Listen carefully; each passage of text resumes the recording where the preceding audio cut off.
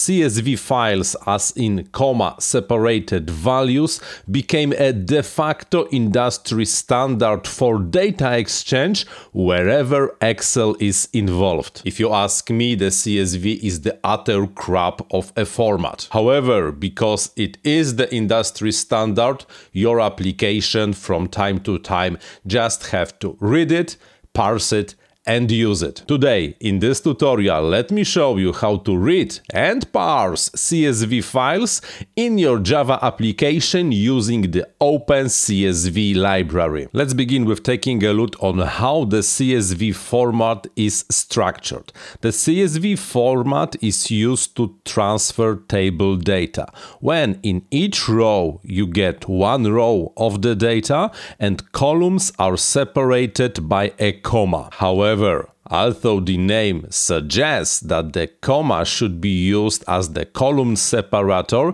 any other character might be used. It might be comma, it might be semicolon, but it also might be a tabulator. In the file I have over here, although it is the comma separated value, the separator for columns is a semicolon. And it's fine, we will only have to inform our code that for this example, the semicolon instead of comma has to be used. On top of that, if any cell in our table would contain the separator characters, this cell would have to be escaped. That means if for example this cell I have over here would contain a semicolon, it would have to be escaped with the quotation mark like this. Luckily in our example this is not a case and we do not need any escaping on our data file. With that explained, let's start coding. By the way, this video was created thanks to my YouTube channel members. Thank you guys, you're the main reason this channel keeps going. You give me a motivation to record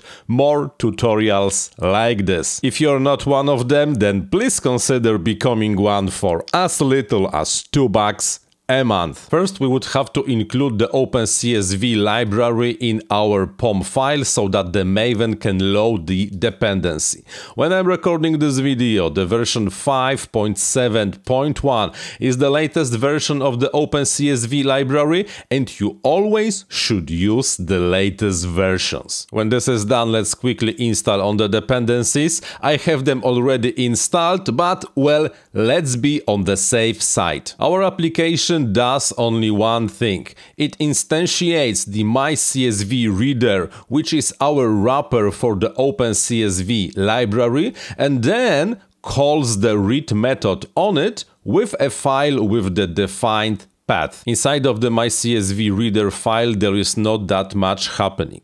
It contains a method read which accepts the file parameter and returns nothing because this is only a test method that at the end will only display on the console the content of our CSV file. To start reading and parsing the CSV we have to have the instance of the CSV reader class from the OpenCSV library. There is a simple way to instantiate the CSV reader, but the simple way does not allow us to create a reader with the custom separator, because in our example we will have to use the semicolon, and also when required it allows us to use a custom escape character. So instead of just instantiating the CSV reader, we will instead use the CSV reader builder. The reader builder will require us to pass the file reader, which will handle reading the file from the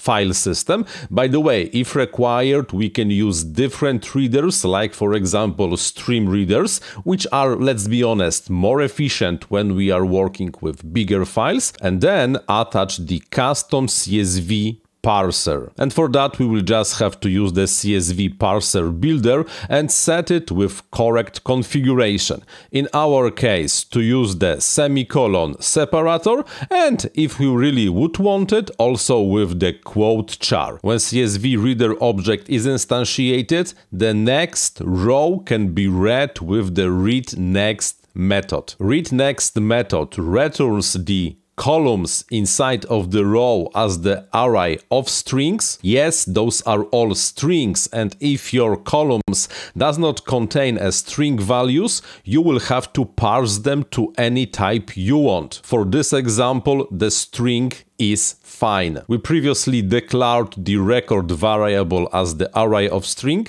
so let's just assign the output of the read next to the record variable and then just print the output with four columns. Number of the row, value of the column 1, column 2 and column 3. And as you can see, the access to the columns themselves is just by indexing the array inside of this specific row. Of course, at the end you have to remember to close the reader. Yes, I know the reader implements the auto-closable interface, but for readability of this example, I instantiated the reader separately, not inside of the try with resources statement. Now, when we have this thing covered, let's see if it's working like expected and let's run our application. Let me start the application and as we can see here in the terminal, the console correctly was able to read all the data from the CSV file, parse it and display in the console. Here's the next video you should watch. In the meantime, I'm Paweł Spychalski, thank you very much for watching and like always, happy coding!